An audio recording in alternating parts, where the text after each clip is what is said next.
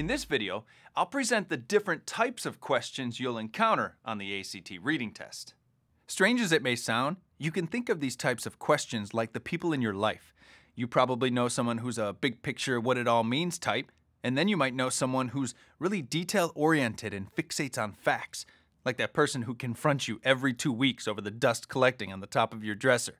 We'll get into more detail in a sec on these specific types, but I can assure you, the more you know about what kinds of questions to expect and how to decode them, the better off you'll be, just like with people.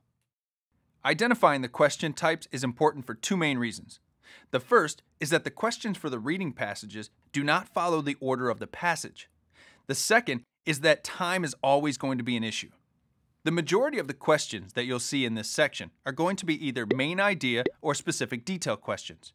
Being able to differentiate between these two types of questions is critical to your time management because you'll be able to eliminate many of the wrong answer choices. Main idea questions are prevalent in the reading section. They ask that you identify the main purpose or central thought of the passage, draw inferences, and conclusions. Examples of the language used in main idea questions include the main purpose of the fourth paragraph is to, it is reasonable to infer from the passage that, and which of the following best describes. These are global questions that take global answers. So if one or two of the answers is a detail that is stated in the passage, it is not going to be the answer. On the other hand, specific detail questions will ask about facts and information explicitly stated in the passage. Here are some examples of the language used in specific detail questions according to the author, the passage states, and according to the passage. These types of questions require specific detailed answers, so an answer that is general or global or isn't stated in the passage is probably going to be incorrect. Let's look at a specific detail question from a passage about Bobby Jones, the golf prodigy who was a predecessor to Tiger Woods. This passage details Bobby Jones' remarkable career, starting with his entry into the U.S. Amateur Championship at age 14 through his retirement.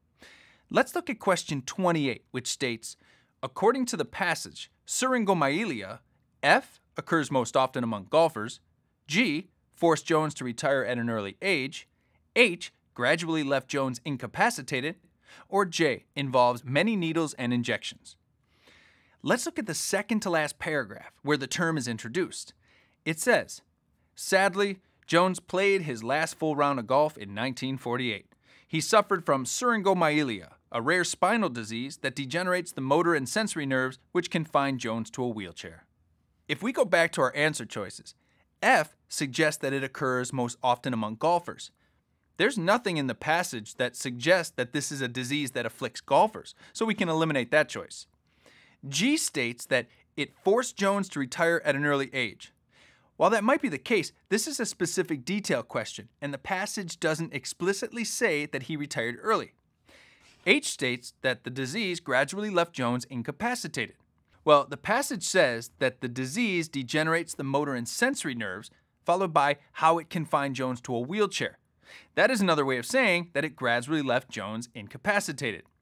And choice J involves many needles and injections, is a tricky one designed to confuse you by throwing in the word syringe.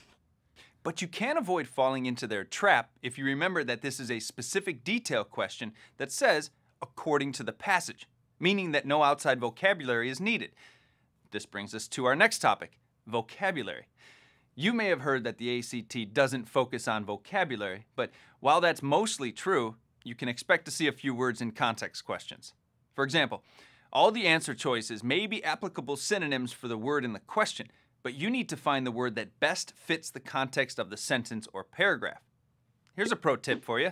The correct word is not usually the primary definition, but generally a secondary definition of the word in the question. Always remember, you're looking for the word that best fits the context of the sentence or paragraph. Let's look at an example from the ACT about 70s teen idol Shaun Cassidy.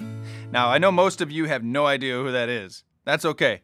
He was just like any other modern day star, only with feathered bangs and tight satin pants.